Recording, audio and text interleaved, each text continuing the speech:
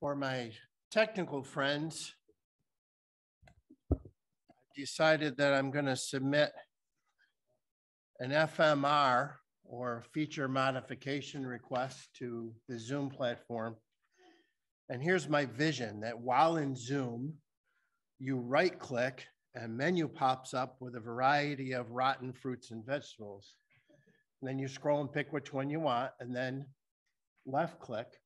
And then that zooms towards the screen and then there's a really loud splat for everybody on the call. And then you could get points throughout the meeting for uh, how successful your aim is. Okay.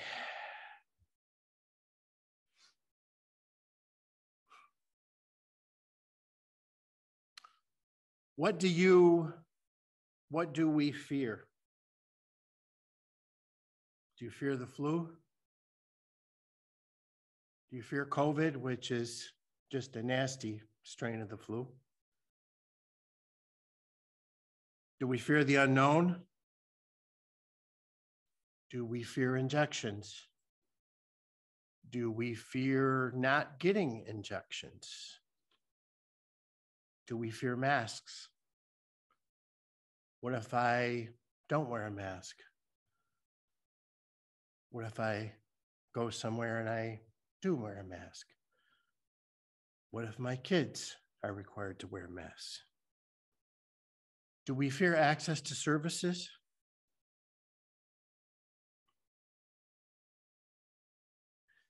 In Australia, the truck drivers, they call them the truckies down there, decided that they're going to teach the government a lesson and they went on gridlock.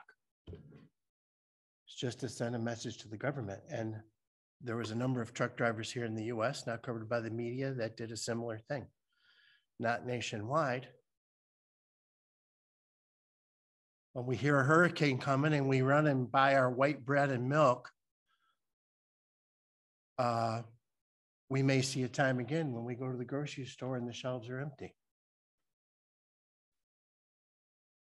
We may be happy go lucky walking down the aisle only to turn the corner and find out once again, no toilet paper. What do we fear? Do we fear disapproval on social media where the number of votes you get is equivalent to truth is how it's interpreted? Do we fear losing our comfort zone? I'll challenge you that not just American culture that we in the church look down on, but yet the American church has become a place of comfort. And a lot of the things that we're fearing really boil down to a loss of comfort, a loss of convenience. Do we fear death? Do we live in a holy fear of a holy God? Do we live in fear of judgment? The judgment of God upon you, me, my family, the church for what we've allowed to happen?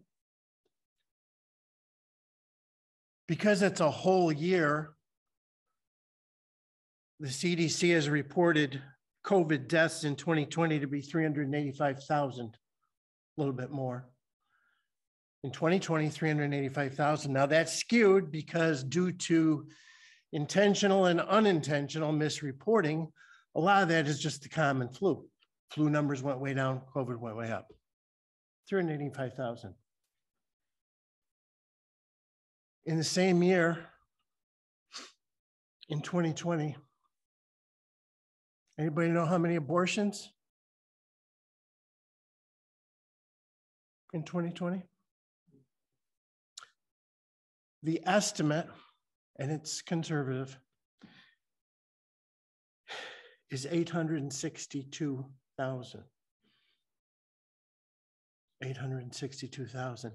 And that is grossly underreported. I defer to your numbers because a law was passed that went into effect in 2014 that they're not required to report anymore. All the reporting since 2014 is voluntary.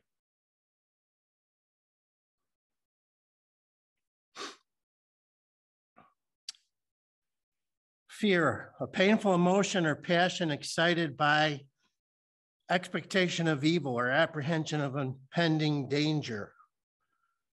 Fear, dread, terror, fright. Fear is accompanied with a desire to avoid or ward off the expected evil. We fear the unknown oftenly, and we, what can I do to prevent this from happening? Our imagination runs wild, fueled by thoughts inspired by the enemy. Fear is an uneasiness of mind upon the thought of future evil likely to befall us and all the anxiety that accompanies it. Can you turn with me to Isaiah 41? I'm going to defer tonight and interweave my thoughts, that's Isaiah 41, with a gentleman who penned his thoughts in 1870, C.H. Spurgeon. Because when I read it, I knew I couldn't do any better than a lot of the things he expressed. And I, I'm just going to take a few excerpts and I'll find it online and send out the reference so you can read the whole thing because it's really pretty powerful. Isaiah 41, 9 to 10. Thou whom I have taken from the ends of the earth and called thee from the chief men thereof, and said unto thee, Thou art my servant. I have chosen thee and not cast thee away. Fear thou not, for I am with thee. Be not dismayed, for I am thy God. I will strengthen thee, yea, I will help thee, yea, I will uphold thee with the right hand of my righteousness. Now, in the verses that I read, the TH words are sprinkled through there. Thee, thou, that means individual person. Bill Spry, who I have taken from the ends of the earth and called, Rich Greer from the chief men thereof, and said unto Ted Fox, Ruth Readman, art my servant.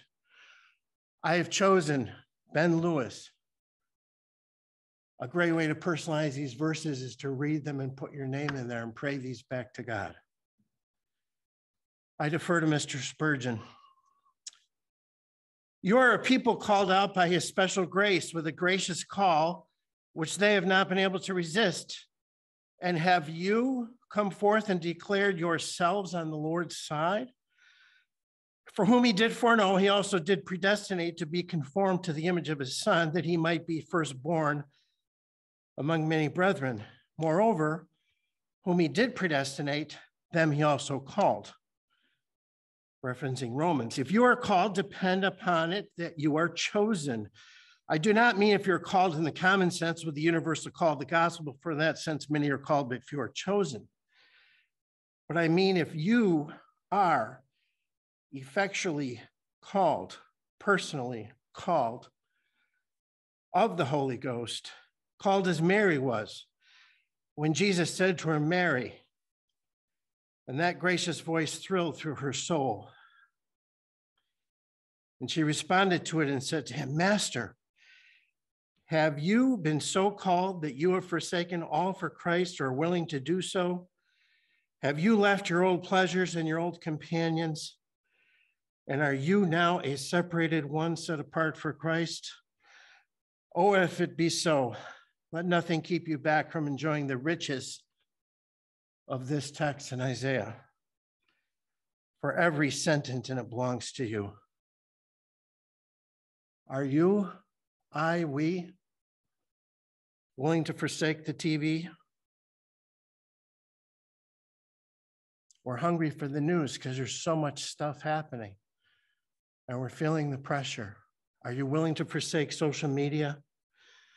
fear mongering and gaslighting, CRT, racism, self serving buffoonery from leaders who do not know Christ or adhere to his teachings, who ignore the tenets of the one who created them. These are the voices we listen to. I'm imploring us all to increase the amount of time we spend in the Word.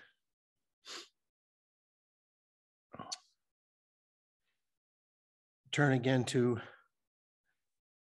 Mr. Spurgeon. A servant does not do his own will. He would soon get his discharge, be carried out his whims and wishes. He takes his guidance from his master's mouth and his master's eye. Have you submitted your will to God's will? Are you no longer governed by a proud and high spirit which cries, Who is the Lord that I should obey him? But do you desire to know what God's will is and then do just what he bids you? Do you count it your highest honor to be called a servant of Christ? Is it for him that you live? Is it his glory your highest aim? In these verses in Isaiah 41, there's a reference to a very natural disease, fear. Secondly, a command against fear, fear thou not. And thirdly, God's promise to help us overcome. Let's turn to that one more time in Isaiah 41, verse 9. Thou whom I have taken from the ends of the earth and called thee from the chief men thereof, and said unto thee, Thou art my servant, I have chosen thee and not cast thee away. Fear thou not, that's a command, for I am with thee. Be not dismayed, for I am thy God. I will strengthen thee. I will help thee. I will uphold thee with thy right hand of my righteousness. Let us make sure that our sin does not cause us to be afraid of communion with God and following his commands. Whatever emotions you're feeling about what's going on at the personal or local or national international level, level, whatever emotions you're feeling, take it to him. He can handle it. He has broad shoulders. Even if you're angry at him for what's happening, he can handle it.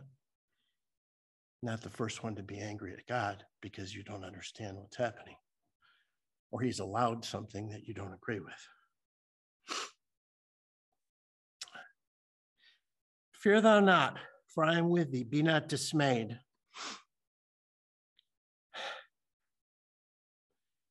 Mr. Spurgeon again. Be it also remarked before we leave this point that even the strongest of God's servants are sometimes the subjects of fear. David was a very strong man and he overthrew Goliath, but we read that on one occasion when he was in battle, David waxed faint.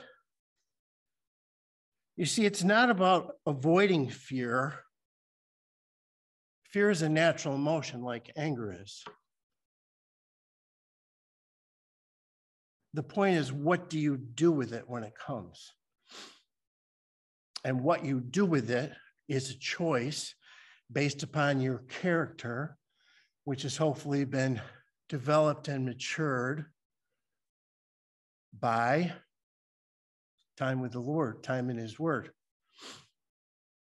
time under your family, your parents. Dismayed, disheartened, deprived of courage. Courage is what you do because of character. Fear is sin. Doubts and fears breed sin. The Lord says, For I am with thee. We're not alone. I am thy God. Jonah's gourd was withered, but God was not. Your goods, your property, your things may go. I live in the city because of what's happening politically, there's a large uptick in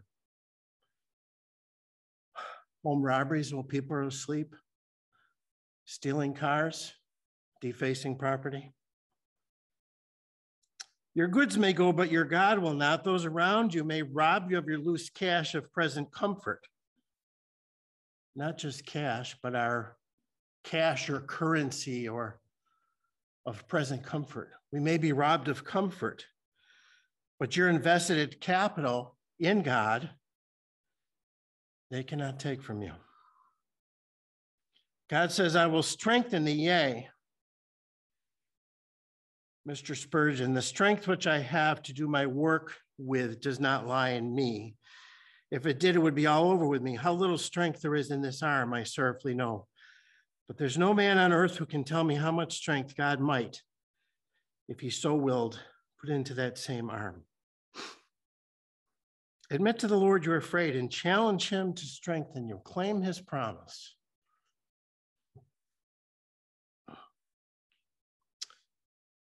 The Lord says, I will help thee. Yea. Where does his help come from? FedEx from heaven? Do we seek miracles? The church gets out of balance when we pray and somebody gets healed. And then certain groups begin to seek those miracles as evidence of God's presence. And they often forsake the word and the balanced doctrine that's wherein that is within.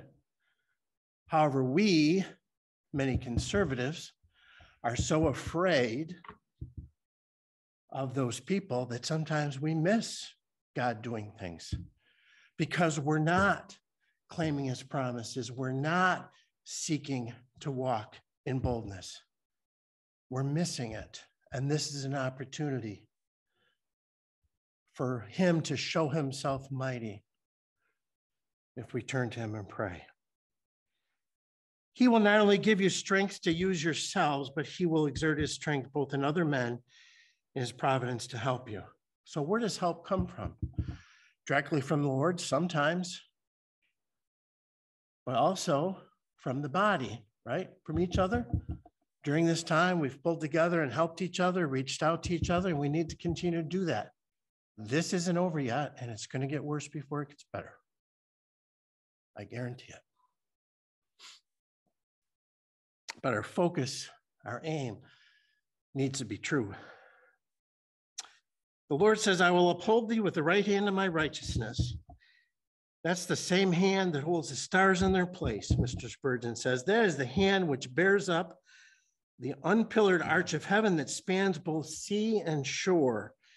Can it not bear you up or rest upon it, and you shall not be cast down. The right hand of his righteousness is the very hand that you and I once had cause to fear, lest our offended king should smite us with it. For we righteously deserved his wrath.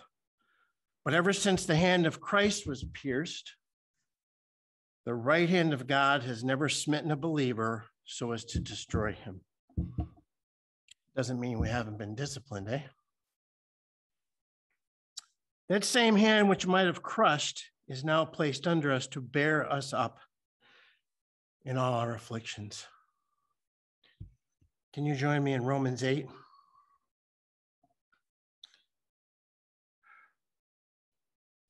Romans 8, verse 26. Likewise, the Spirit also helpeth our infirmities, for we know not what we should pray for as we ought. But the Spirit itself maketh intercession for us with groanings which cannot be uttered.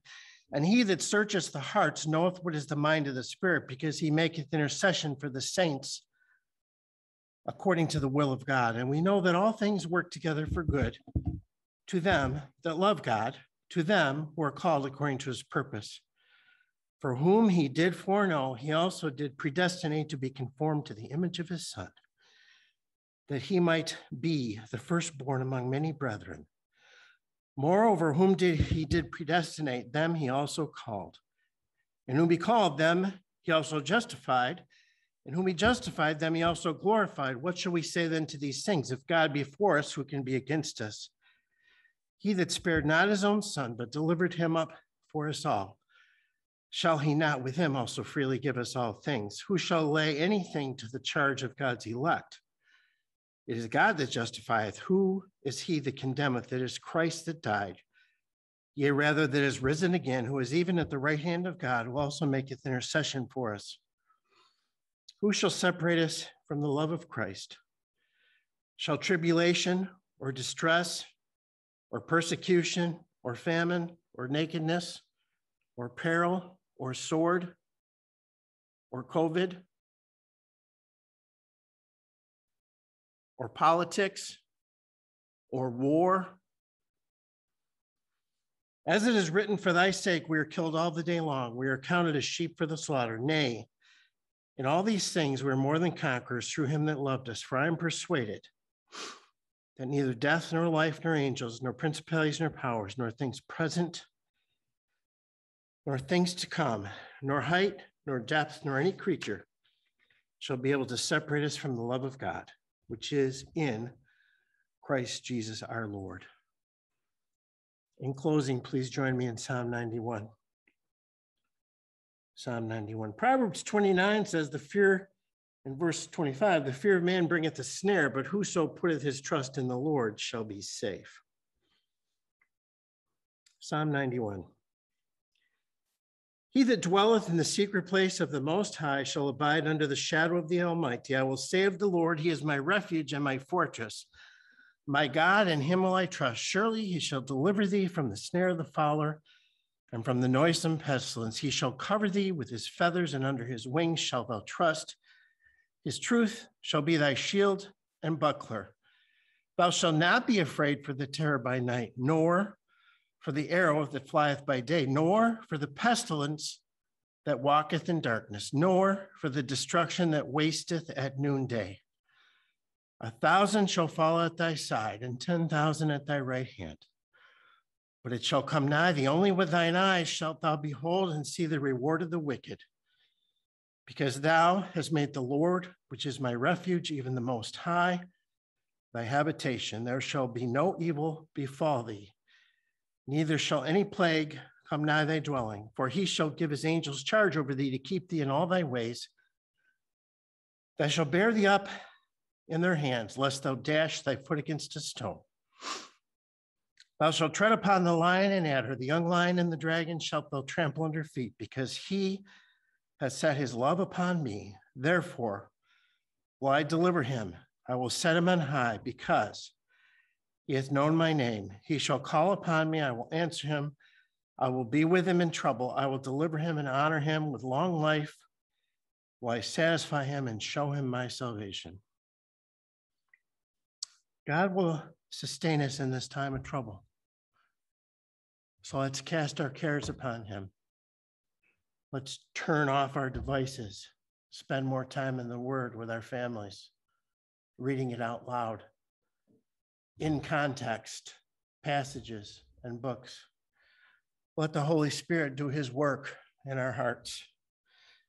Ask for his strength and claim his promises. Thank you, and may the Lord bless the reading of his word.